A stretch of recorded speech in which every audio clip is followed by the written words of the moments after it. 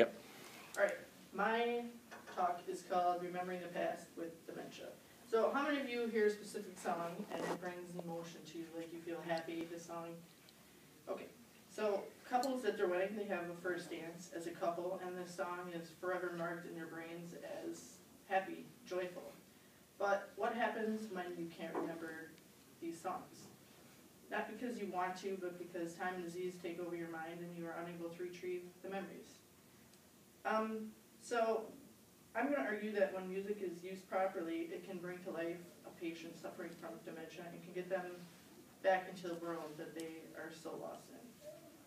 So some statis- statistics from the Alzheimer's Association website, um, Alzheimer's is the most common form of dementia. Over five million people suffer from it in the US, most over the age of sixty-five. Five hundred thousand people a year die from Alzheimer's. I know this is really sucking information, but, um, research are worried it's gonna triple by twenty fifty because of the baby boom population. Um, it is the sixth leading cause of death in the United States. The only one in the top ten that can't be cured, stopped, or the progression even slowed down.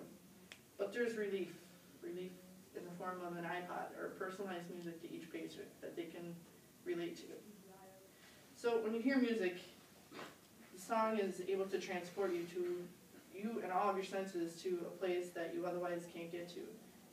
I, like Katie, watched a documentary on Netflix called Alive Inside, and it features a social worker who is trying to implement a program in all the nursing homes across the United States to get iPods to every person that suffers from dementia. Music is the key to opening up their worlds. They have, they show a lady at the beginning, she's so cute, she's ninety-two years old, and is this, they ask her, tell us a, an experience from your life, like a childhood memory, and she's, she can't. She said she simply just can't, she's too old. They hand her an iPod with some of the music from her childhood, and her face changes, it just lights up, and tears form in her eyes, and she's just getting all emotional, and she can't stop talking about her childhood. She has all these memories all of a sudden. She says she can't, she didn't know she could talk this much still.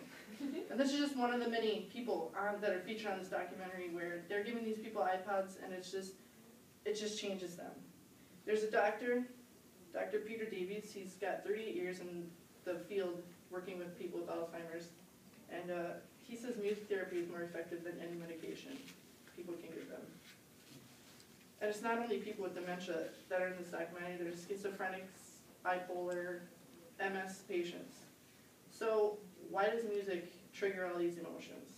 It's actually kind of simple, because when you hear, hear a song, you relate it to, to emotions, and this is kept, these emotions and these feelings are stored in your brain, that is one of the last parts of the brain affected by the Alzheimer's and dementia. So that's how they're able to relate. Um, it also takes little to no cognitive or mental processes to get these emotions. Um, yeah, so actually, I witnessed this firsthand because I volunteer at the healthcare center and I work specifically with people that have dementia.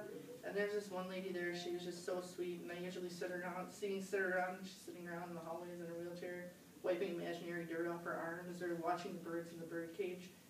And sh I love watching the birds with her, she's, she just, they thrill her and she always talks about how her daughter's so lucky to have this bird cage in her house.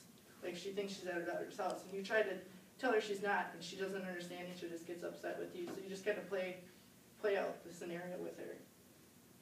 But when she hears a song that she knows and she relates to, it's like she's there with you and she's reachable, and she's this person that's in the world with you. Her eyes change, even the looks, the look in her eyes change, her arms start moving, and she's tapping, and she just looks so happy. She, it's like she's just awakened, something is awakening her. Um, so, like Dr. Davy says, it is not really a cure, but music is most, more effective than any medication. I know if it were me when I'm older, I would rather put on a pair of headphones and listen to Whitney Houston, and that's gonna brighten my world than take a pill that'll just dim it